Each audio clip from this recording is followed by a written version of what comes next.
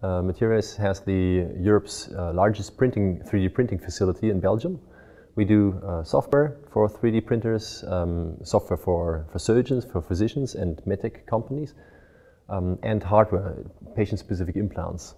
Responsibility in research and innovation starts with guidelines, but it's then broken down into um, certain aspects and concrete uh, to-dos for companies, for industries um, starts with economical aspects, starts with uh, ethical aspects, which are um, which have been brought on the table in that forum, and that was pretty helpful and inspiring. So, if we talk about uh, responsibility in research and innovation, um, the question about animal labs um, certainly pops up, and uh, we as a as a company. Um, have a pretty strong statement about animal labs and 3D uh, printing uh, possibilities, which um, refer to that ethical aspect.